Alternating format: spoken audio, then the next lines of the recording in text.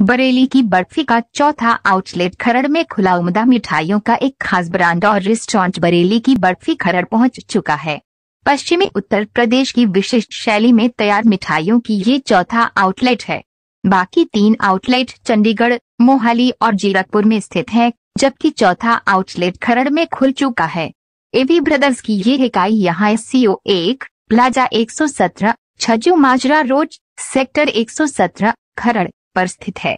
बरेली की बर्फ़ी के संचालक मुनी टंडन ने बताया कि उनके यहाँ पश्चिमी उत्तर प्रदेश के स्टाइल में मिठाइयाँ तैयार की जाती हैं, जिनका स्वाद पंजाब में बनी मिठाइयों से अलग और लाजवाब है। यहाँ का कलाकंद और अंजीर की बर्फ़ी भी बेमिसाल है। सभी मिठाइयाँ देसी घी में बनती हैं और इन्हें बरेली के हलवाई खुद तैयार करते हैं।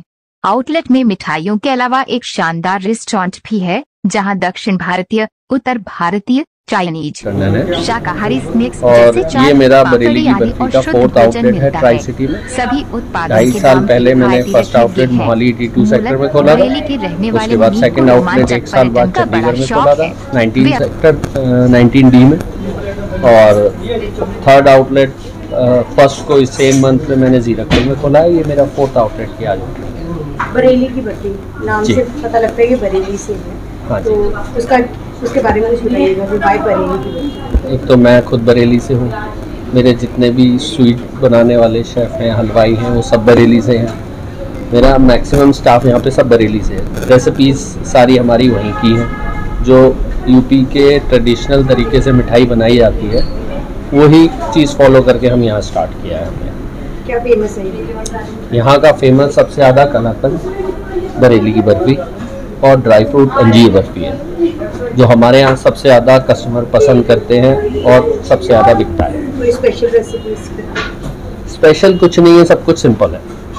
बस प्योरिटी है यही स्पेशल है हमारे।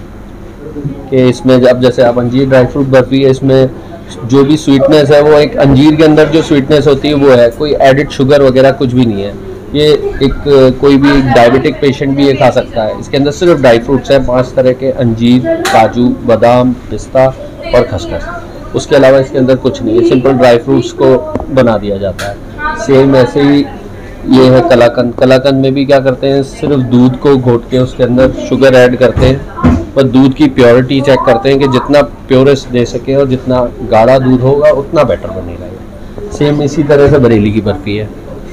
ये बहुत ही सिंपल तरीके से बनाई हुई मिठाई है इसमें कोई भी अलग कुछ ऐसा नहीं है कि कुछ बहुत कुछ ऐड किया हुआ है जितनी सिंपल मिठाई हो सकती है सारी मिठाई उतनी सिंपल है स्वीट शॉप्स तो और भी बहुत सारी हैं। जी, बिल्कुल। तो काफ़ी काफ़ी बड़ी बड़ी चेन्स भी हैं बिल्कुल। तो आपका डिफरेंट कैसे है और आपका कौन कॉम्पिटिटर मैम डिफरेंट ऐसे है कि सारी चीज़ें एक तो मैं पर्सनली खुद भी मॉनिटर करता हूँ और जो मेरे हलवाई हैं उनको क्लियरली बोल रखा है कि जो चीज़ उनको चाहिए वो बताते हैं मुझको कि मुझे ये इस क्वालिटी की चाहिए मैं उनको प्रोवाइड करता हूँ जो क्वालिटी मुझे चाहिए वो वो बना के देते हैं।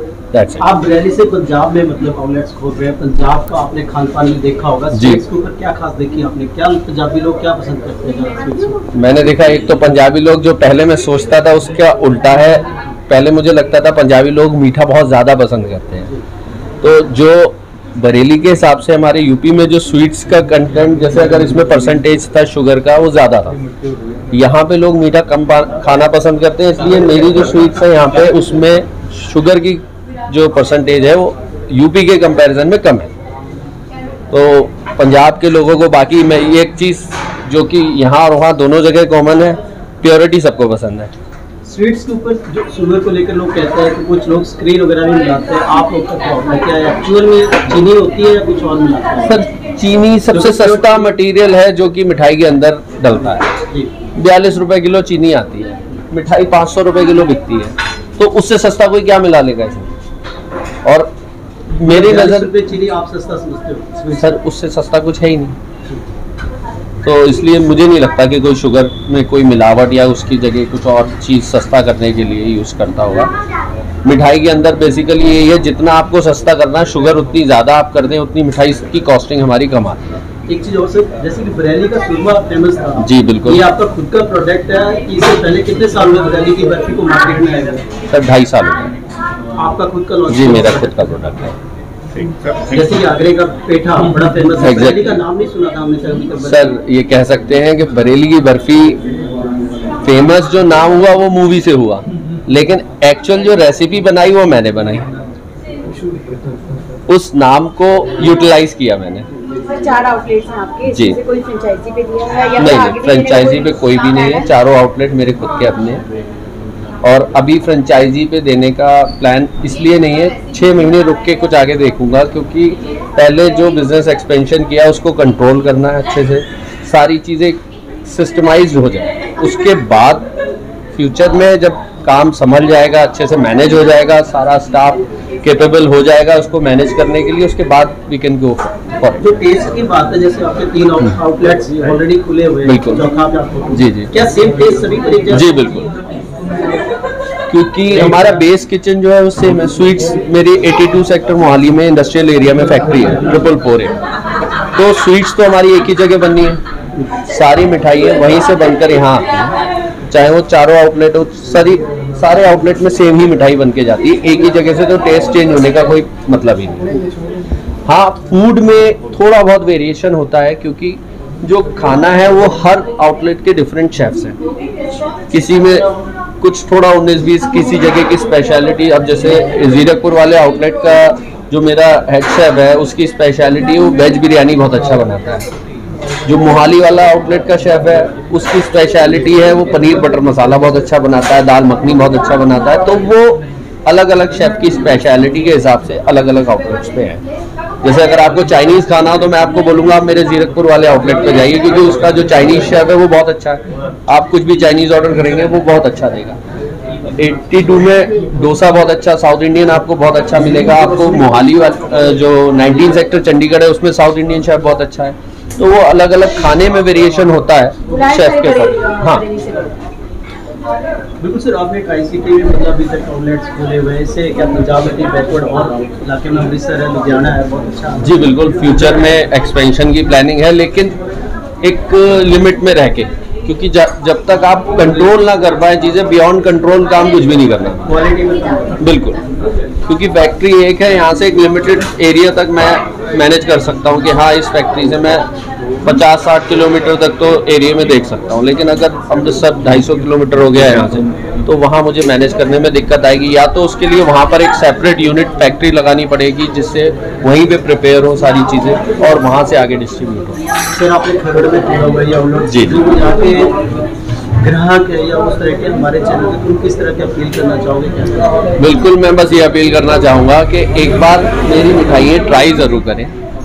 बाकी अगर उनको पसंद आता है तो ज़रूर वो दोबारा आएँगे मैं जानता हूँ। क्योंकि इतना तो डिफरेंस है कि मेरी स्वीट्स का टेस्ट थोड़ा सा अलग है और जगह से और जो भी इसको खाता है वो प्योरिटी तो फील करेगा ही। रेट के साथ साथ सर्विस जो है सर्विस बहुत मायने रखती है। जब कोई ऑर्डर आता है तो सर्विस के ऊपर डिपेंड बिल्कुल, करता है। कैसी सर्विस कैसी रहेगी सर सर्विस हमारे बताया ना इसीलिए मैं बिज़नेस एक्सपेंशन एक लिमिटेड एरिया में कर रहा हूँ क्योंकि मैं सर्विस दे पाऊँ क्योंकि अगर मैं बहुत ज़्यादा दूर कर लूँगा तो सर्विस देने में मुझको प्रॉब्लम आएगी। इसीलिए मैं यहाँ से मेरी फैक्ट्री जस्ट 14 किलोमीटर्स है। तो अगर सपोज़ करिए मेरे पास कोई ऑर्डर आता है कि जी आप मेरे को पाँच कुंटल लड्डू चाहिए या दो कुंटल लड्डू चाहिए तो मेरा यहाँ से फ़ोन जाएगा उधर। फैक्ट्री में प्रिपरेशन में जो टाइम लगेगा बस और ट्रांसपोर्टेशन में मैक्सिमम हाफ़ एन तो इसलिए क्योंकि कस्टमर को हम अच्छी सर्विस दे पाए इसीलिए हम सारे आउटलेट आसपास में। सर जैसे कोई फैमिली आती है किसी ने डोसा खाना है और किसी ने नूडल खानी है किसी ने यहाँ वेज कुछ और बिरयानी खानी है जी। तो फिर वो एक आउटलेट में आपको सारी टेस्टी नहीं मिल पाएँगी देखिए मैं आपको ये नहीं कहा कि टेस्टी नहीं मिलेगी।